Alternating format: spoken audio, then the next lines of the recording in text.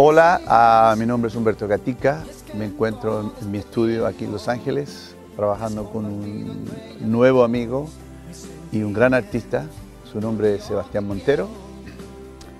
Sebastián Montero ah, lo he llegado a conocer, es un canto autor de mucho talento, de mucho talento, es un personaje que canta con el corazón, y que tiene un tipo de música que a mí me, gusta mucho y estoy orgulloso de poder colaborar con él en su nuevo proyecto, su nuevo producto.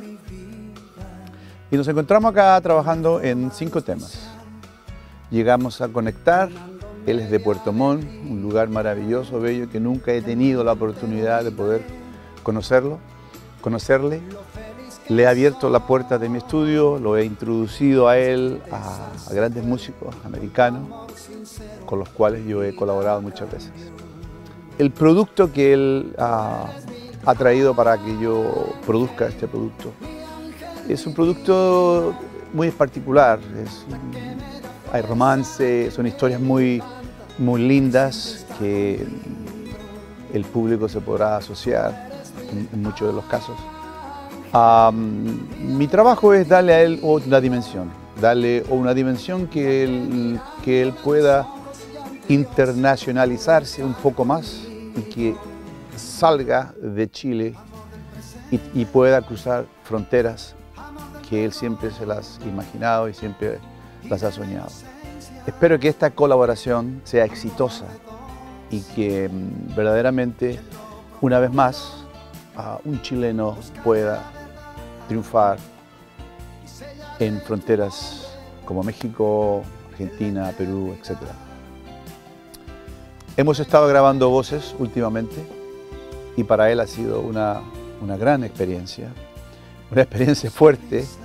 Ah, soy un personaje que soy extremadamente exigente en lo que es la interpretación de, de los temas. Pero hemos llegado a conocerlo, yo pienso que él ha aprendido mucho, como yo también he aprendido mucho de él y mm, estamos completamente ah, satisfechos del resultado. Nos quedan procesos musicales que hay que agregarle a la producción. Luego que eso ya está finalizado, viene el proceso de mezcla donde yo me siento a, elegir o a reorquestrar a lo que se ha grabado. Espero que este proyecto sea ah, para ustedes ah, algo especial como lo es para mí.